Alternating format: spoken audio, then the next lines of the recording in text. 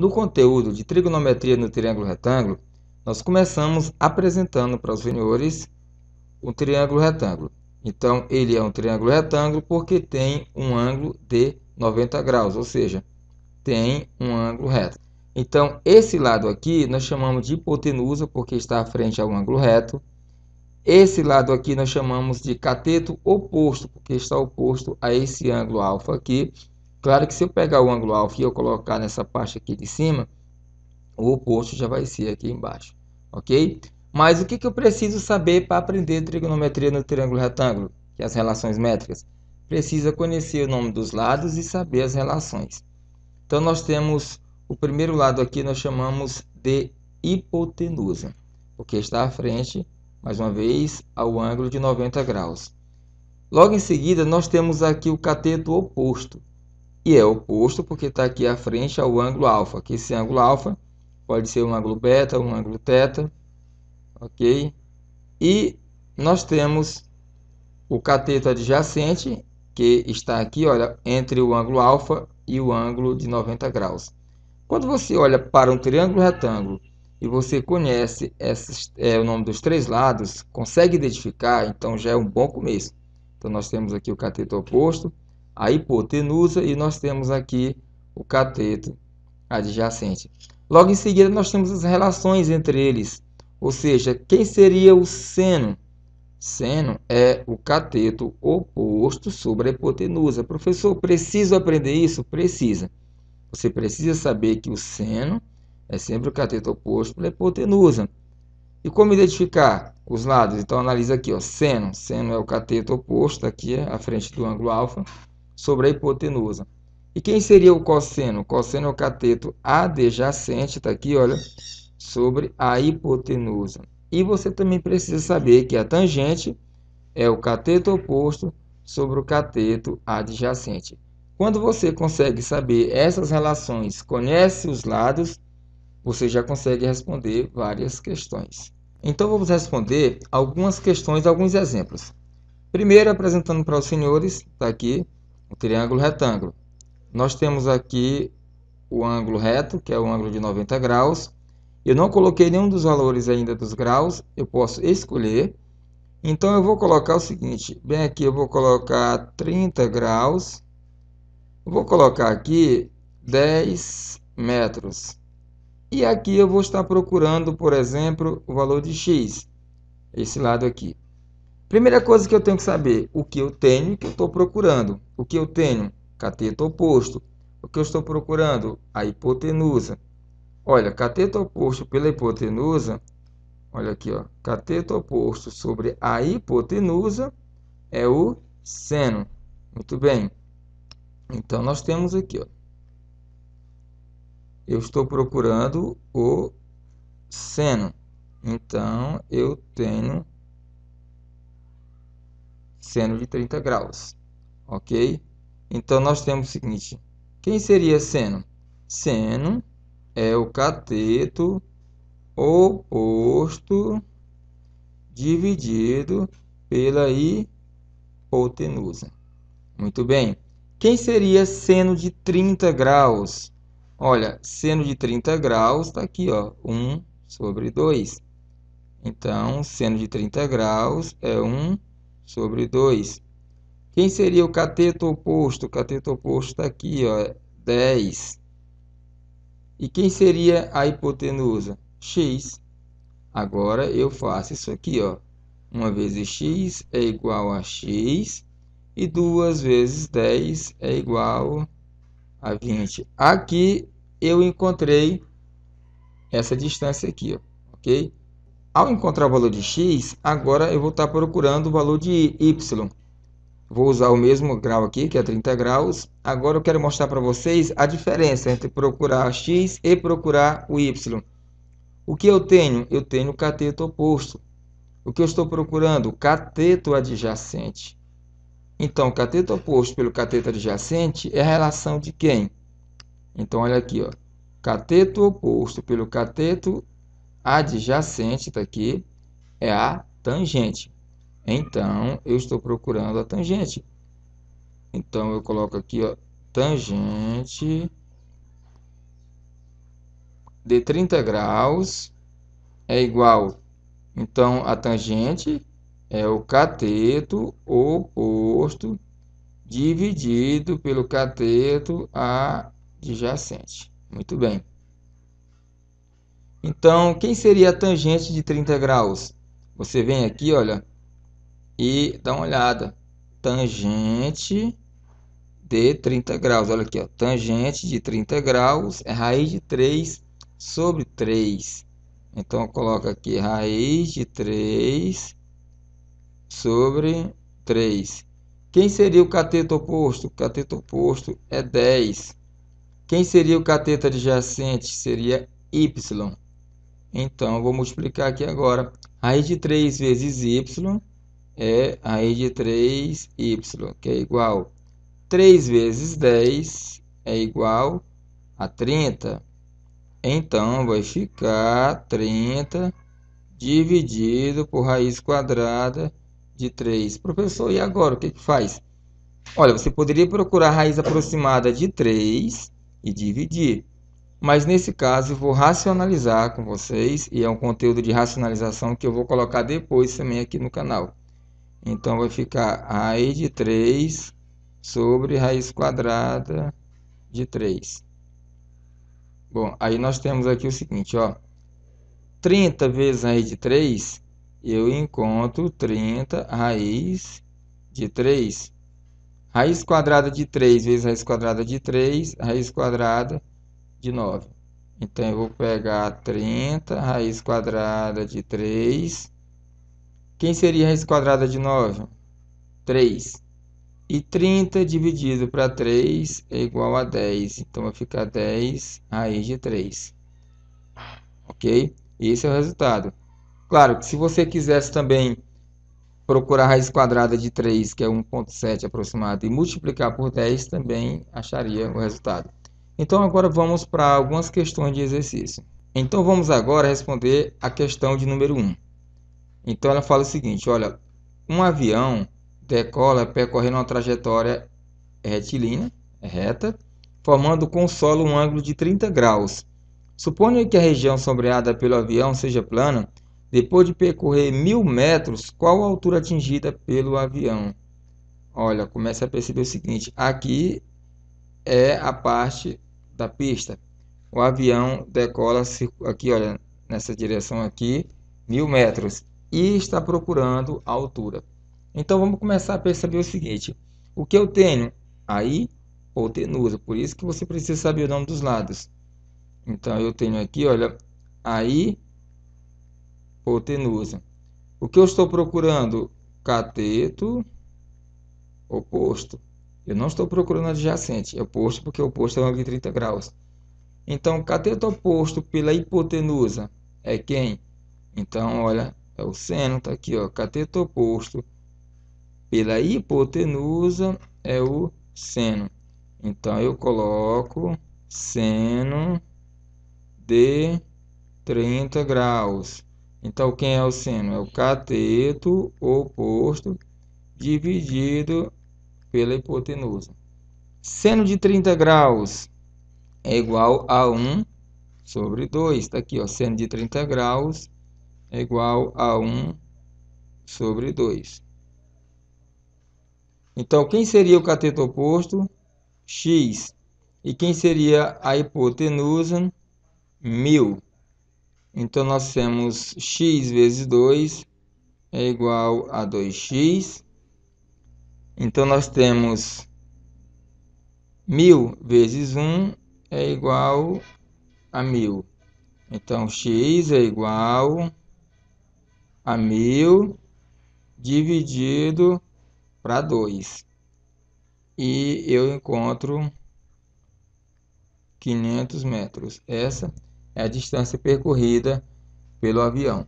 Então vamos agora para a questão de número 2. Um retângulo A, B, C e D, olha, um retângulo A, B, C e D, com 10 centímetros de comprimento, tá aqui, foi dividido em duas partes diagonais, aqui ligando de A a C, conforme mostra a seguir, a imagem a seguir. Sabendo que o ângulo CAB, olha aqui, ó, CAB é 30 graus. Qual é o comprimento da diagonal do retângulo? Então, nós queremos saber isso aqui, pessoal, olha, diagonal. Se eu tenho aqui, esse lado aqui que eu chamo de cateto adjacente, e esse aqui é a hipotenusa. Professor, como que eu sei?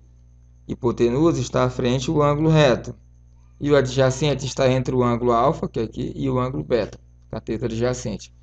Cateto adjacente pela hipotenusa, eu vou usar seno, cosseno, tangente, como que eu faço? Olha, cateto adjacente pela hipotenusa é o cosseno, mas vamos ver aqui, ó. Então, nós temos cateto adjacente pela hipotenusa, está aqui o cosseno. Então, você vem aqui, ó. Então, nós temos cosseno de 30 graus é igual cateto adjacente dividido pela hipotenusa. Então, quanto seria o cosseno de 30 graus? Vem aqui, olha aí, olha, cosseno de 30 graus, raiz de 3 sobre 2. Então, você vem aqui e coloca raiz de 3 sobre 2. Então, quem seria o cateto adjacente? Olha, o cateto adjacente é igual a 10 centímetros. E a hipotenusa, x. Agora é só multiplicar. Então, nós temos raiz de 3 vezes x é igual a raiz de 3x. 2 vezes 10 é igual a 20. Agora, x é igual a 20 dividido por raiz de 3. E mais uma vez precisamos racionalizar. Muito importante esse conteúdo de racionalização. Então, racionalizar, você vai ter que repetir aqui raiz de 3 sobre raiz de 3. Bom, então vamos ver aqui. Agora eu tenho 20 vezes raiz de 3 é igual a 20 raiz de 3. Raiz de 3 vezes raiz de 3 é igual a raiz quadrada de 9. Então eu tenho 20 raiz de 3 Raiz quadrada de 9 é igual a 3. Olha, você poderia deixar aqui? Poderia. Poderia prosseguir? Poderia. Como? Procurar a raiz aproximada de 3. Aí teria que multiplicar por 20 e dividir por 3. É, então, é uma opção que você pode fazer. Existem algumas questões de concurso que eles vão até aqui. Tem outras que vai até o final. Ok? Então vamos fazer essa questão aqui. Olha o que essa questão está pedindo. Então ela fala o seguinte: quando o Sol se encontra a 45 graus acima do horizonte, e olha, uma árvore projeta uma sombra ao chão de 45 é, graus aqui, ó. Então, tendo o comprimento aqui de 15 metros, determine a altura desta árvore. Bom, então estou procurando a altura. E esta altura eu chamo de cateto oposto. E esse lado aqui que eu tenho, eu chamo de cateto adjacente. Cateto oposto pelo cateto adjacente é a tangente. Então, nós temos aqui, ó, cateto oposto pelo cateto adjacente é a tangente. Então, eu vou colocar tangente de 45 graus que é igual ao cateto oposto, que é a altura, vamos colocar H, dividido pelo cateto adjacente, que é igual a 15 metros. Então, a tangente é o cateto oposto pelo cateto adjacente. Quanto que é a tangente de 45 graus? É 1. Olha, eu venho aqui ó, e apresento para vocês a tangente de 45 graus é 1, por quê? Porque é a divisão do seno pelo cosseno. Então, eu coloco aqui 1. Então, coloco a hipotenusa e aqui eu coloco 15. Pronto, então, vai ficar 15 vezes 1 é igual a 15. Então, qual seria a altura da árvore? Seria 15 metros. Considerando o triângulo retângulo ABC, Determine as medidas A, B indicadas aqui na figura. Estou procurando as medidas de A e B. Primeira coisa que eu tenho que observar é o nome dos lados. Esse aqui eu vou chamar de hipotenusa. Esse aqui eu vou chamar de cateto adjacente. E esse aqui eu vou chamar de cateto oposto. Professor, mas esse lado aqui não seria cateto é adjacente? Não, porque o ângulo agora está aqui, ó, no ponto C. Tá certo? Então, vamos procurar primeiro o valor de A. Então, se eu estou procurando A, que é a hipotenusa, e eu tenho o cateto oposto, então o cateto oposto está aqui, olha, sobre a hipotenusa, eu vou usar o seno.